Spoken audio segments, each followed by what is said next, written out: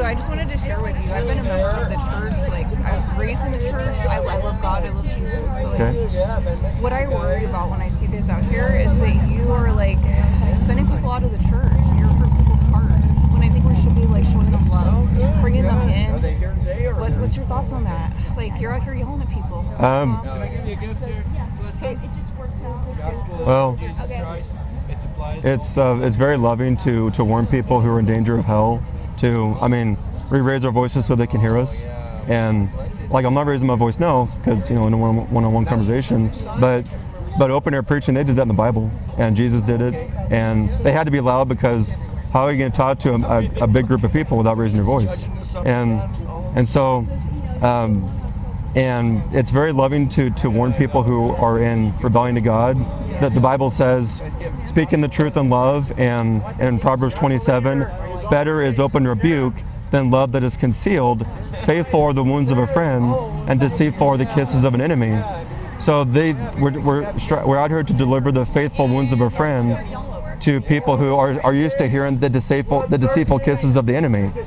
And one of those deceitful kisses of the enemy. So I'm gonna pause you right there. yeah, go ahead. I, I was raised in the church. I was raised in the Bible. I can quote scripture back at you all day. We could play Okay. this game. I don't. Oh, it's not a game. It's, it's Not it, a game. it becomes like an intellectual game of back and forth arguing scripture, and I don't. I'm not here to do that. I'm, I'm just answering what, what, what you're asking. I, I just want to ask you how how many people have you brought into the church by doing this? I have absolutely no idea. Nobody does. So then why are you doing it? I don't. Well, I don't need to know how many people have been saved through, through the preaching. In fact, if any if any Christian says they know, then I call them a liar because you don't know what God's doing in people's hearts or how many people become false converts, how many people actually get saved. So I, I don't know, but I don't need to know. So what if instead of doing this on the weekends, you guys volunteered with me at the soup kitchen and helped feed people and helped at the food pantry, and then we could actually know how many people we brought into the church and how many people we helped. Uh, you still wouldn't know. Because again, you don't know who gets saved, who doesn't get saved, who, who, who says, "Yeah, I love Jesus now," but then they go back to the world and and and they go out from among us. They go out from us because they're not of us, as the Bible says. So, And so actually, if you build a relationship with someone and you fall up with them, and you become a part of their life, and you mentor them and build into them and bring them into the church, then you do know what's happening in their life because you have a relationship with them, and you're not just yelling at them from the street corner. Well, you can't do that with everybody. You, you can do that with with a, with a few, with some people, Well, you don't know that you're helping anyone. You just told me that, but I can. what? I, I'm no, no, no. We're not, I don't know if we're, if anyone's being saved. I wish I could talk to you, but I can't because he's yelling again. Oh, I can hear what you're saying, saying- saying just fine. But but we need we need to preach because they preached in, in the Bible and nobody wanted to hear it. You know that? I don't think this is how Jesus preached to anyone. Really? Do, do you read the Bible every day? I do read the Bible every day, and So- there's, there's no point where he's standing on a street street corner yelling at people at a farmer's market. Well, well, the passage where he did that one time. I'm not saying he preached to farmers markets, but he preached to people to like when he when he fed the the, the, uh, the thousands.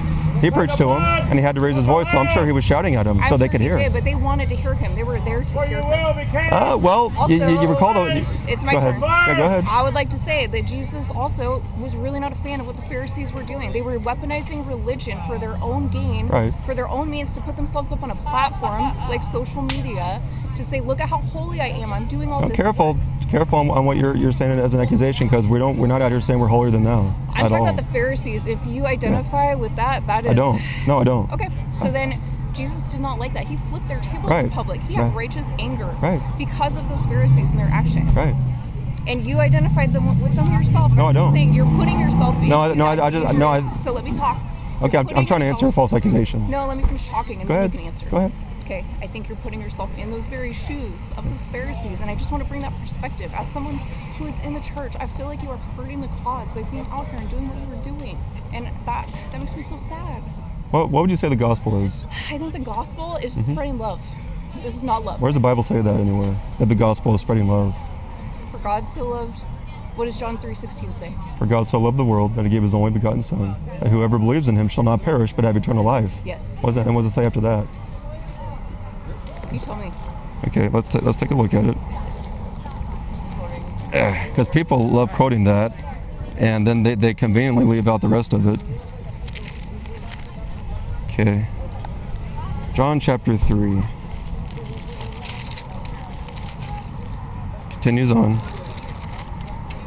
For For God did not send the Son into the world to judge the world, but that the world might be might be saved through him. He who believes in him is not judged. He who does not believe has been judged already, because he has not believed in the name of the Son of God.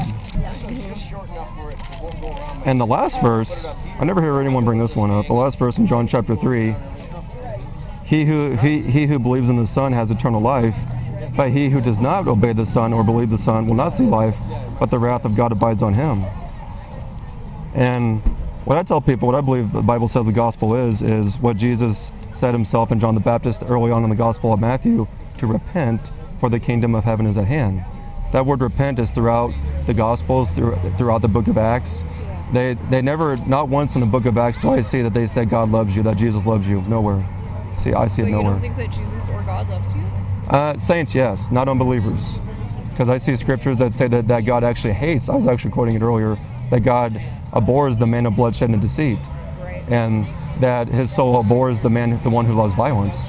And now, that's a false gospel that Jesus loves everyone. I've heard, we've, we've heard people say that at pride events, at, at baby murder celebrations, and people going in, in to murder their babies at Planned Parenthood. We've heard them say, Jesus loves me, God will forgive me. They get that because they think that they've heard that false gospel that Jesus loves me. That's not the, that's not the biblical gospel. I think we're getting a little bit off track. Talking about pride, talking about abortion. I just want to say that, like, I, I wish you guys would put your energy into doing something that we can show as helping people instead of being on a street corner yelling at people at the Saturday market. Well, show I me show me the Bible words. Can you show, me that this isn't the Bible biblical? Where it shows that it's okay to have pictures like this out at a Okay, Saturday okay, I'll- I'll show you. And- and Where is does it- it say to do that? I'm, I'm going to answer. Ezekiel chapter 22, verse 2. God says to show the bloody city her abominations. what is the context of that verse? Well, you're welcome is to it talking about Grants Pass, Oregon, or is it talking about something very specific? It's not talking about Grants Pass, Oregon, but It's it's, talking about. But the scriptures you've used aren't, weren't talking about Grants Pass either, right? So the, we use the Bible to, for, I- for today. It applies. I'm here with my family. I'm gonna go back to shopping with them. Okay. I just wanted to share with you my perspective. I, I would hope that you guys would hear me out and help people and help the community. I'm hearing you. And not spend your time doing this because like it hurts my Why, heart. to why do see you, guys here? why do you think you're a Christian? Why do you Why? think you're a Christian, ma'am? Are you sure you're a Christian? Don't be deceived, ma'am. Please don't be deceived.